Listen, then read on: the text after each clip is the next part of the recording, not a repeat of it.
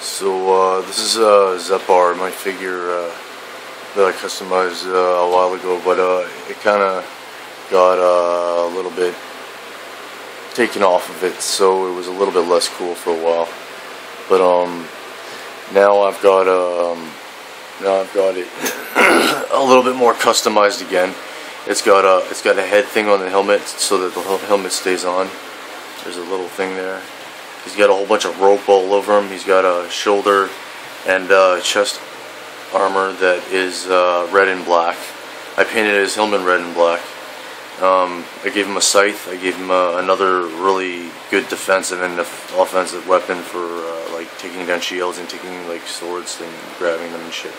And uh, I gave him uh, a really wicked shield. I, I managed to get the shield back together. Yeah, it's it's a really nice one actually. It's pretty cool. I painted it black and it was a demon uh, But um, uh, nice big axe in his right hand, and uh, I gave him uh, uh, um, a nice big mace.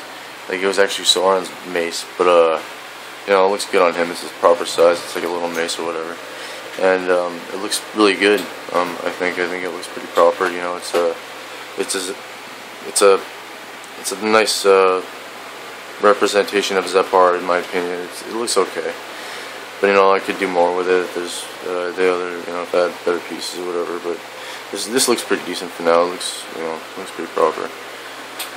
Uh, it looks all right, I think. Uh, sorry guys, it's been a long day. kind of been partying. It's been my birthday recently, so I'm kind of half wasted.